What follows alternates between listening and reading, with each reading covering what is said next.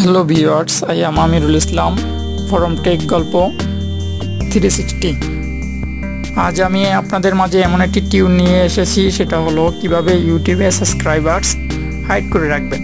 অনেকে চান না নিজের সাবস্ক্রাইবার অন্য কাউকে দেখাতে বা অন্য কাউ দেখুক। সেজন্য আপনাকে প্রথমে করতে হবে গুগল ক্রোম ওপেন করবেন। গুগল ক্রোম ওপেন করার পর ইউটিউব ডট কম লিখে ইউটিউবে যাবেন। তারপরে ইউটিউবে যাওয়ার পরে আপনি এখান থেকে আপনার চ্যানেল সাইন ইন করে নেবেন। যদি সাইন ইন করা না থাকে, এখান থেকে আপনার চ্যানেল সাইন ইন করে নেবেন। তারপর মাই চ্যানেলে যাবেন। মাই চ্যানেলে যাওয়ার পরে এখানে সাবস্ক্রাইবার বাটনের বাম পাশে সেটিংসের মতো একটা বাটন আছে সেটা ক্লিক করবেন। ক্লিক করার পরে এখানে দেখবেন keep all my subscriptions private এটা অন করে দিবেন।